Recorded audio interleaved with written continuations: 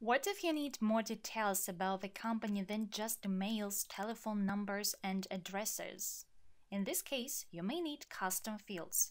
How can you set up custom fields in Friday CRM? Easy. Go to Settings, click the Custom Fields tab. Select Company Fields. In the field, you can see three elements. The drop-down menu to choose the field type, the field to input the name of the field, and lastly, field parameters. In the drop-down menu, you have nine options of field types. Your choice depends on your requirements. In single line text, you can add some extra information. Number. For example, here you can fill out how many employees work in the company.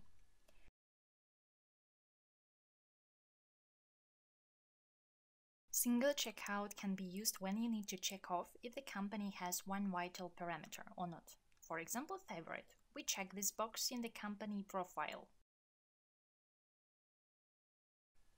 Drop-down select op you add specific criteria to the company's interface. For instance, it is vital for us to know how the company creates deals in the CRM. Do they capture requests from the website or make a deal manually? Multiple checkboxes allows you to check off as many criteria as you need.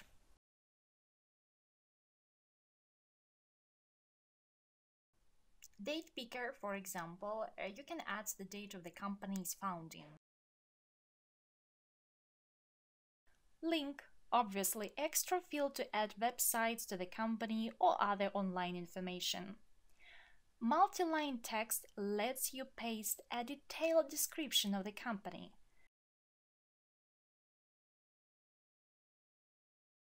Radio select works like drop-down select, but creates another form.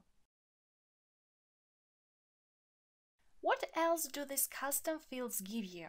If you need to find the company that meets your specific criteria, you can clarify your request in filters.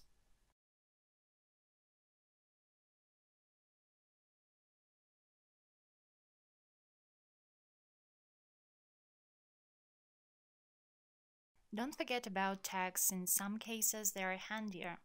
As you can see, adding extra details about companies is not a big deal. Hundreds of customers have already done it.